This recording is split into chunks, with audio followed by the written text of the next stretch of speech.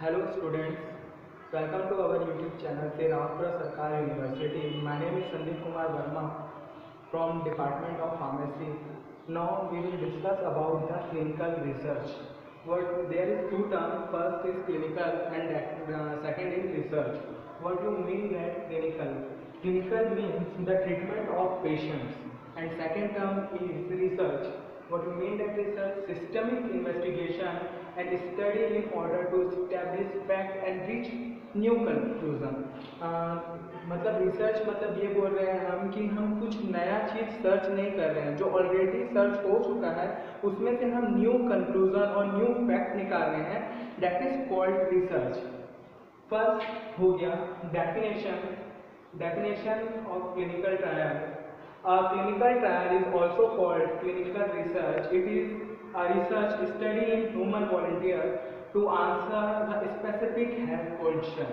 Clinical trials that means जब हमको कोई न्यू मॉलिक्यूल्स या न्यू केमिकल मिलता है, उसके बाद हम उसका फॉर्मुलेशन में चेंज कर लेते हैं और उसके बाद हम उसको ह्यूमन वॉल्टियर के ऊपर टेस्ट करते हैं कि रिसेंटली का अगर केस देखा जाए तो हम कोविड 19 या कोरोना वायरस का हम अभी तक कोई वैक्सीन नहीं बना चुके हैं अब जब वैक्सीन का कोई भी फॉर्मुलेशन तैयार हो रहा है तो उसको एनिमल्स के बाद ह्यूमन वॉल्टियर के ऊपर ट्रायल किया जा रहा है।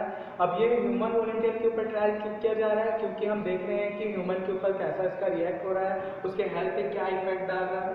तो उस तरीके के हेल्थ क्वेश्चन को आंसर करने के लिए हम क्लिनिकल ट्रायल्स करते हैं। जब कोई मेडिसिन क्लिनिकल ट्रायल को पास आउट कर लेता है या पास कर लेता है तो उसके बाद वो मार वो ड्रग मार्केट में आता है। कॉमन ह्यूमंस के यूज़ के लिए। तो phase of drug development drug development के फ़ेज़ क्या है? In this drug development there is five phase first is identification of new drug second is screening of biological activity third is preformulation fourth is formulation and fifth is stability study first identification of new drug हमको new drug का identification करना पड़ता है, क्योंकि जो already पुराने drug हैं हमारे, जो न्यू मॉलिक्यूल्स हैं, वो किसी न किसी हेल्थ में काम आ रहे हैं। उनका अब यूज़ नहीं हो रहा है किसी और बीमारी के ऊपर। तो हमको जब कोई न्यू डिज़ीज़ के लिए ड्रग की खोज करनी पड़ती है, या ड्रग का सर्च करना पड़ता है तो हमें सबसे पहले न्यू मॉलिक्यूल या न्यू केमिकल चाहिए होता है। वो मॉलिक्यूल आइदर प्लांट एक्सट्रैक्ट हो सकता है, या हम न्यू केमिकल को लैब में सिंथेसाइज भी कर सकते हैं। तो वो हो गया हमारा आइडेंटिफिकेशन ऑफ़ न्यू ड्रग जब हमारे पास न्यू मॉलिक्यूल आ गया, अब उसके बाद हमको उसको क्या करना पड़ता है कि हम देखते हैं कि उसका बायोलॉजिकल इफ़ेक्ट क्या है। हमारे ह्यूमन बॉडी पे उसका क्या इफ़ेक्ट पड़ रहा है? वो हमारे ब्लड रेट को ज़्यादा कर रहा है ब्लड रेट को कम कर रहा है ब्लड वेसल्स को डायलेट कर रहा है श्रिंक कर रहा है। वो हमारे बॉडी में ज़्यादा से कौन से चैनल्स पे रिएक्ट कर रहा है कौन कौन से चैनल्स को ओपन कर रहा है कौन कौन से चैनल्स को क्लोज कर रहा है। ये सब हम स्क्रीन आउट करते हैं biological activity second phase third phase होता है हम उसका प्री फॉर्मुलेशन एक हम उसका प्री फॉर्मुलेशन बनाते हैं, जो हम उसको एनिमल्स पे टेस्ट करते हैं। एनिमल्स पे हम टॉक्सिसिटी स्टडी कर लेते हैं, या फिर टॉक्सिसिटी या फिर डोज स्टडी करते हैं। तो इसके लिए हमें प्री फॉर्मुलेशन की ज़रूरत होती है। सेकंड होता है जब हमने उसके ऊपर सारा टेस्ट कर लिया, हमें डोज पता चल गया, हमारे, हमें टॉक्सिसिटी डोज पता चल गया तो उसके बाद हम फॉर्मुलेशन की तरफ़ जाते हैं कि वो ड्रग हमारा किस फॉर्मुलेशन में ज़्यादा स्टेबल है।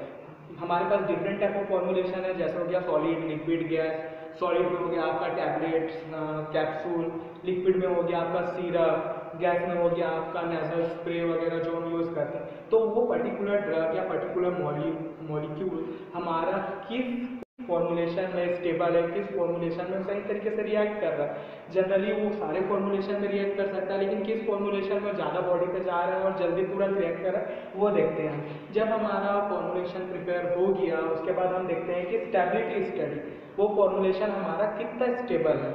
वो अगर हमने टैबलेट बना लिया तो उसका हार्डनेस टेस्टिंग देखते हैं, अगर हमने लिक्विड बनाया तो देखते हैं कहीं वो यूवी से तो इफ़ेक्ट नहीं हो रहा सनरे से तो इफ़ेक्ट नहीं हो रहा। वह देखते हैं स्टेबिलिटी मतलब कि वो डिफरेंट इन्वायरमेंट में किस तरीके से रिएक्ट कर रहा है। That is called stability study अब हम देखते हैं कि हमारे पास कितने टाइप के क्लिनिकल ट्रायल हैं। टाइप्स ऑफ़ क्लिनिकल ट्रायल तो यहाँ पे दो टाइप के क्लिनिकल ट्रायल है। फ़र्स्ट है आपका प्री क्लिनिकल स्टडी सेकेंड है आपका clinical study pre clinical study को ही हम एनिमल स्टडी भी बोल सकते हैं या नॉन क्लिनिकल स्टडी भी बोल सकते हैं।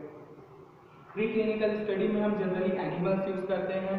और मतलब इसमें ह्यूमन का यूज़ नहीं होता है एनिमल का यूज़ होता है। हम ये देखते हैं कि इसमें टॉक्सिसिटी डोज कितना होता है ड्रग इफ़ेक्टिव है कि नहीं ड्रग सेफ़ है कि नहीं, हम पर्टिकुलर जिस डिज़ीज़ के लिए ड्रग यूज़ कर रहे हैं, उस डिज़ीज़ को कम कर रहा है कि नहीं, कहीं वो, कोई और डिज़ीज़ को तो कॉज नहीं कर रहा।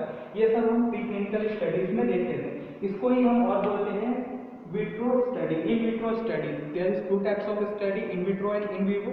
In vivo study, that means inside the body. और in vitro, that means outside the body. तो हम इसमें एनिमल स्टडी भी करते हैं इन विट्रो स्टडी भी करते हैं। फिर हम आते हैं आपका second clinical study in this clinical study ये मतलब ह्यूमंस के ऊपर किया जाता है। जब प्री क्लिनिकल स्टडी को हमारा क्रॉस कर देता है, हम न्यू ड्रग एप्लीकेशन लगा चुके होते हैं एफ़ में न्यू ड्रग डेवलपमेंट एप्लीकेशन लगा देते हैं न्यू ड्रग का खोज करने के लिए हम जो एप्लीकेशन एफ़ में लगाना होता है, वो लगा चुके हैं, होते हैं, उसके बाद हम क्लिनिकल स्टडी करते हैं। ये क्लिनिकल स्टडी क्या रहता है? डाटा रहता है क्लिनिकल ट्रायल्स का, जो मज़बूत करता है हमारे न्यू ड्रग एप्लीकेशन को। एफडीए में जो हमने अप्लाई किया हुआ है अप्रूवल के लिए। तो क्लिनिकल स्टडी में हमारा फोर फ़ेज़ होता है phase one phase two phase three and phase four phase one first in human मतलब इसमें क्लिनिकल क्लिनिकल स्टडी ह्यूमन पे ही होता है। तो फ़र्स्ट ये फ़र्स्ट स्टडी ह्यूमन होता है। इसमें ह्यूमन वॉल्टियर या ह्यूमन पेशेंट कितने होते हैं? ट्वेंटी टू एटी होते हैं। फ़ेज़ वन में हम क्या क्या देखते हैं? फ़ेज़ वन में हम ये देखते हैं कि वो सेफ़ है कि नहीं ह्यूमन के ऊपर। उसकी टोलरेबिलिटी कितनी होती है, वो टॉलरेट कर पा रहा है कि उस ड्रेस को, किसी तरह का साइड इफ़ेक्ट तो नहीं हो रहा उसको। फिर हम फ़ेज़ टू की ओर जाते हैं, उसमें हम नंबर ऑफ़ पेशेंट्स बढ़ा देते हैं। नंबर ऑफ़ पेशेंट्स बढ़ के हो जाता है 100 टू 300 फिर हम देखते हैं इसमें इफिकेसी कि वो कितना इफ़ेक्टिव है। और वो हम शॉर्ट टर्म के लिए उसकी सेफ्टी देखते हैं। अभी हम ये दोनों ही स्टडी में शॉर्ट टर्म यूज़ कर रहे हैं, किसी में अभी लॉन्ग टर्म स्टडी नहीं देख रहे हैं, हम दोनों का लॉन्ग टर्म यूज़ नहीं देख रहे हैं किसी भी ड्रग का। जब हम थर्ड फ़ेज़ में आते हैं, जब ये दोनों फ़ेज़ क्रॉस कर देता है, तब हमारा थर्ड फ़ेज़ आता है और उस थर्ड फ़ेज़ में फिर से नंबर ऑफ़ ह्यूमन बढ़ जाते हैं। उस नंबर ऑफ़ ह्यूमन बढ़ के बढ़ के five hundred to one thousand हो जाते हैं और इसमें हम देखते हैं safety and efficacy but long term के लिए।